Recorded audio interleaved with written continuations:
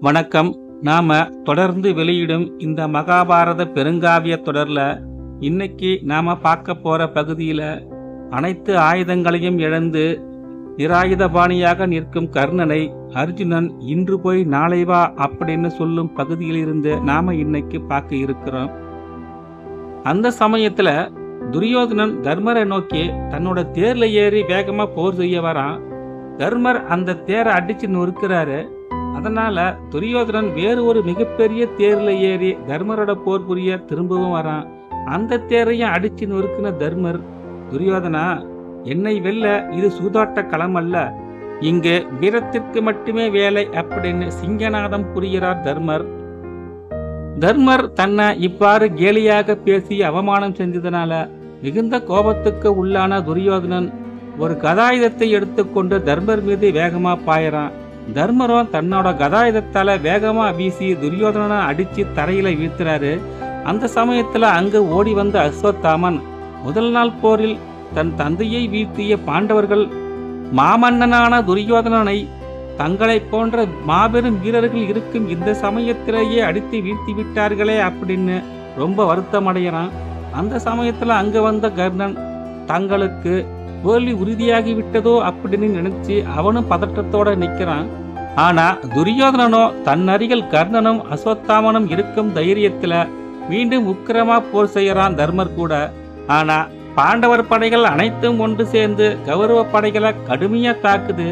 பாண்டவர் படைகளின் தாக்குதலை சமாளிக்க முடியாம கௌரவ படை சிதறி ஓடுது. அந்த சமயத்துல சூரியனும் அஸ்தமிக்குது. அன்றைய நாள் போர் அத்துடன் முடிவடையுது. அடுத்து பதினேழாம் நாள் போரில் கௌரவர் படைத்தலைவன் கர்ணன் தலைமையில் கௌரவ படை வீரர்கள் ஏராளமானது ஒன்று கூடுறாங்க.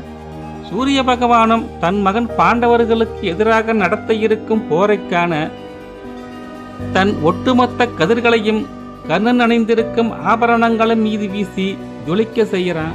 இங்கு பாண்டவர்களின் பக்கமும் இதே நிலைமைதான். தர்மர் முதல் நாள் நடந்த போர்ல துரியோதனனை அடித்து வீழ்த்திய மகிழ்ச்சியில தேரில் புறப்பட்டு வந்த காட்சி சிவனின் ருத்ராம்சமாகவே உக்கிரத்தோடு காணப்பட்டதாம்.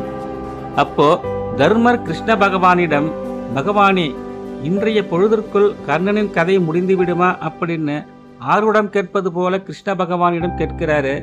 கிருஷ்ண பகவானும் மெல்ல சிரிக்கிறாரு. கேள்வியின் நாயகனும் அவரேதான். பதிலுக்கு அதிபதியும் அவரேதான். லட்சுமியின் அதிபதியான கிருஷ்ண பகவான் மெல்ல சிரித்தவாறே நல்ல சமயத்தில் தான் நீயும் இந்த கேள்வியை கேட்ட. இன்றைய பொழுதுக்குள் சூரியபுத்திரன் அர்ஜுனன் வில்லாற்றலால் இறந்து மடிவது உறுதி. நாளையும் ஒரு நல்ல செய்தி காத்திருக்கிறது அப்படின்னு சொல்றார் கிருஷ்ண பகவான். நாளை துரியோதனன் பீமன் கையால் அழிவது உறுதி அப்படின்னு அந்த செய்தியையும் சொல்லி முடிக்கிறாரு. அதன் பின் ஏழு தீவுகளையும் அடக்கியுள்ள இந்த பூமி உன்னுடையது ஆகிவிடும் அப்படின்னு கிருஷ்ண பகவான் சொல்றாரு. இந்த அமுத மொழிகளை கேட்ட தர்மர் மிகவும் உணர்ச்சி வசப்பட்டு கிருஷ்ணா எங்கள் மானம் மரியாதை அனைத்தையும் உங்களிடம் ஒப்படைத்து விட்டோம். எங்கள் புகழ் வீரம் அனைத்தையும் காப்பாற்றி எங்கள் ராஜ்யத்தையும் எங்களுக்கு மீட்டு கொடுத்து விட்டாய் அப்படின்னு கிருஷ்ண பகவான் சொன்ன வாக்குறுதிக்கு தர்மர் நன்றி சொல்றாரு. மற்ற பாண்டவர்களும் கிருஷ்ண பகவானை தலைவணங்கி நிற்கிறாங்க. கிருஷ்ணா திரௌபதிக்கு நாங்கள் ஐந்து கணவன்மார்கள் இருந்து என்ன பயன்? அன்று துரியோதனன் அவையில் திரௌபதி துகளிரிக்கப்பட்ட அந்த சமயத்தில் அவளுக்கு கை கொடுத்து உதவினீர்கள். என் தம்பி பீமன் சிறுவயதாக இருந்தபொழுது கங்கையாற்றில் கழுமரம் ஊன்றி அதில் குத்தி இறக்க துரியோதனன் செய்த ஏற்பாட்டை முறியடித்து என் தம்பியை காப்பாற்றினீர்கள். அனைத்து ராஜ்யத்தையும் இழந்து பொருளில்லாத எங்களிடம் பாசம் வைத்து எங்களுக்காக துரியோதனையிடம் தூது சென்றீர்கள். அமாவாசை தினத்தை முன்னரே வரவழைத்து அரவான் கலப்பலை கொடுக்கும் தினத்தை எங்களுக்காக மாற்றி அமைத்தீர் அர்ஜுனன் பீஷ்மரை கொல்ல தயங்கிய அந்த சமயத்தில் கீதோபதேசம் செய்து ரட்சித்தீர். அஸ்வத்தாமன் எங்கள் மீது பயன்படுத்த இருந்த நாராயண அஸ்திரத்தில் இருந்தும் எங்களை காத்தீர். நீங்கள் எங்களுக்கு செய்த சேவை கொஞ்சம் நஞ்சமல்ல. எதை சொல்லி எதை விடுவேன் அப்படின்னு உணர்ச்சி வசப்பட்ட தர்மர் கிருஷ்ணனின் காலில் விழுந்து வணங்குறாரு. கிருஷ்ண பகவானும் தர்மருக்கு தலை வணங்குறாரு.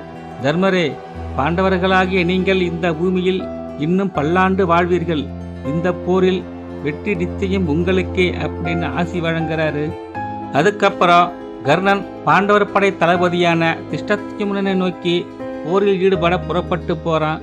அப்பொழுது துரியோதனனை பார்த்த கர்ணன் எனக்கு மாயாவியான கண்ணன் அர்ஜுனனுக்கு தேரோட்டியாக இருப்பது போல் எனக்கும் ஒரு மிகச்சிறந்த வல்லமை வாய்ந்த ஒருவன் தேரோட்டியாக இருக்க வேண்டும் அப்படின்னு கேட்குறான் அது மட்டுமல்ல சமயத்திற்கு ஏற்றார் போல மிகவும் திறமையாக முடிவெடுக்கக்கூடிய ஒரு வல்லமை வாய்ந்தவனாகவும் அவன் இருக்க வேண்டும் அப்படின்னு கேட்டவன் அவன்தான் நம் படையில் இருக்கக்கூடிய சல்லியன். நகுல சகாதேவனின் தாய்மாமனமாகிய அவன் மட்டும் எனக்கு சாரதியாக இருந்தால் கிருஷ்ணரையும் அர்ஜுனையும் வெல்வேன் பீமனையும் கொள்வேன் அப்படின்னு கர்ஜிக்கிறான்.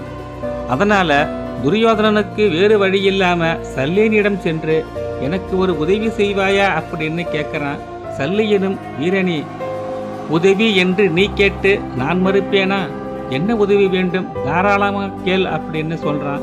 இதை கேட்ட துரியோதனோ மகிழ்ச்சியில் சல்லியனே கர்ணனுக்கு நீ தேரோட்டுவதற்கு சாரதியாக இருக்க வேண்டும் அப்படின்னு சொல்றான். இதை கேட்ட சல்லியன் மிகுந்த ஆத்திரத்துல துரியோதனா இந்த கேள்வியை உன்னை தவிர யார் கேட்டிருந்தாலும் இந்நேரம் அவர்கள் நாக்கை அறுத்திருப்பேன். பிறப்பால் இழிந்த ஒருவனுக்கு நான் தேரோட்டுவதாவது. என்ன கேள்வி என்னை பார்த்து கேட்டாய்? துரியோதனா உன் படையை இரண்டாக பிரி. அந்த இரண்டு பிரிவில் ஒன்றையில் கர்ணனுக்கும் மற்றொன்றில் என்னையும் தளபதியாக்கு. அந்த போரில் நான் ஒருவேளை தோற்றுப் போனால் கர்ணனுக்கு சாரதியாக இருந்து அவனுக்கு பணி செய்கிறேன் அப்படின்னு ஆத்திரத்தில் சொல்றார் சல்லியன். துரியோதனா சல்லியனை சமாதானப்படுத்துறான். சல்லியா முன்பொரு முறை பரமசிவனுக்காக பிரம்மனே தேரோட்டியாக இருந்திருக்கிறாரு. பார்க்கடலில் பள்ளி கொண்டிருக்கும் அந்த நாராயண பகவானே இப்பொழுது கிருஷ்ண பகவானாக அவதாரம் எடுத்து அர்ஜுனனுக்கு தேரோட்டியாக பணி செய்து கொண்டிருக்கிறாரு. ஏ அர்ஜுனனே விராட தேசத்து மன்னனின் மகன் உத்திரகுமாரனுக்கு தேரோட்டியாக பணி செய்து வந்தான்.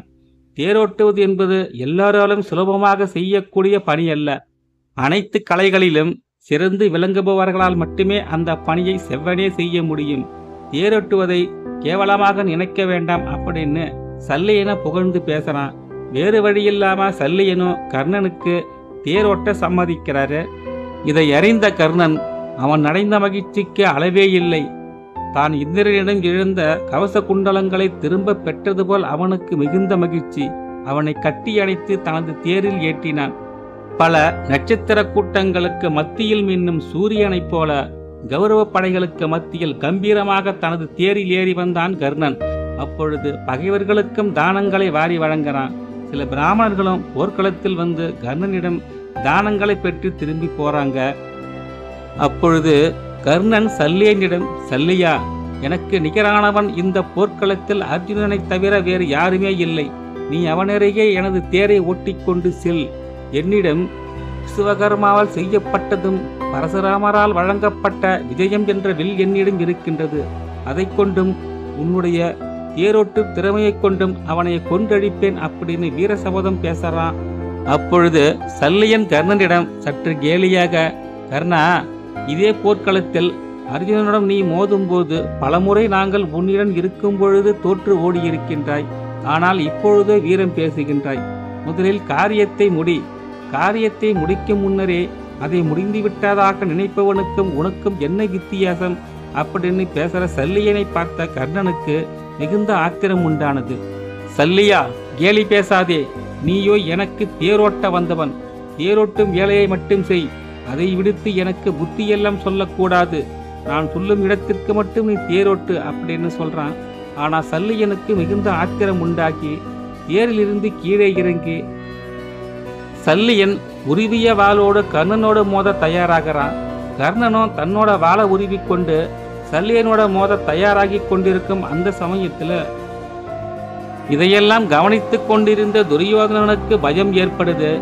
அதனால அவர்கள் அருகே வந்தவன் அவர்கள் இரண்டு பேரையும் சமாதானப்படுத்தி சல்லி என மீண்டும் கர்ணன் தேரில் ஏற்றிவிடுறான் அதன் பிறகு கர்ணனுக்கு துணையாக அஸ்வத்தாமன் சகுனி கிருபாச்சாரியார் மூன்று பேரும் சூழ்ந்து நிற்கிறாங்க. இதை பார்த்த துரியோதனனுக்கு மிகுந்த பெருமை. இன்று அர்ஜுனன் அழிந்தே விட்டான் அப்படின்னு முடிவே பண்ணிடுறான். போர் தொடங்குது.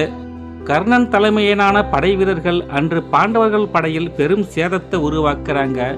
கர்ணனும் பீமனும் சமபலத்தோடு மோதிக்கொள்ளும் அந்த சமயத்தில் பீமன் கர்ணனை பார்த்து கர்ணா என் தம்பி அர்ஜுனன் உன்னை கொல்வதாக சபதம் செஞ்சிருக்கான். அப்படி இல்லைன்னா இவ்வளோ நேரம் உன் கூட நான் போர் செய்து கொண்டிருக்க மாட்டேன். உன்னை என்னோட ஒரு விரல் கொண்டே நசுக்கி கொண்டிருப்பேன் அப்படின்னு சொல்லிட்டு வேறு ஒரு இடத்துக்கு போர் செய்ய புறப்பட்டு போயிடுறான் பீமன்.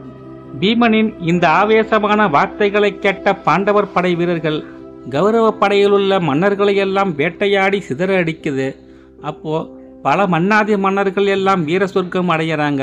அதனால் கௌரவ படைகள்லாம் பின்வாங்கி சிதறி ஓடத் தொடங்குது. அதனால் அங்கு வந்த அஸ்வத்தாமன் கௌரவ படையிலிருந்து முன்னேறி பாண்டவர் படைகளை தடுத்து நிறுத்தினான். அப்போது அர்ஜுனன் அஸ்வத்தாமனின் தேரை அடித்து நொறுக்கி அஸ்வத்தாமனை உயிரோடு விட்டு விடுறான். அதுக்கப்புறம் கர்ணனுக்கும் தர்மருக்கும் கடுமையாக போர் தொடங்குது. ரெண்டு பேரும் சமபலத்தோட நீண்ட நேரம் மோதிக்கொண்டாலும் கர்ணனோட தாக்குதலை சமாளிக்க முடியாம தர்மர் சோர்ந்து போய் புறமுதுகிட்டு போயிடலாம் அப்படின்னு நினைக்கும் அந்த சமயத்துல கர்ணனோ தர்மரை பார்த்து தர்மவாணி நீங்களும் தர்மவான். அறிவில் சிறந்தவர் சிறந்த நண்பர்களை கொண்டவர் தர்மம் தவறாத தம்பிகளை கொண்டவர் இந்த உலகத்தையே ஆளத் துடிக்கும் நீர் இப்படி புறமுதுகிட்டு ஓடத் துடிக்கலாமா அப்படின்னு கேட்குறான். இதை கேட்ட தர்மருக்கு கோபம் வருது.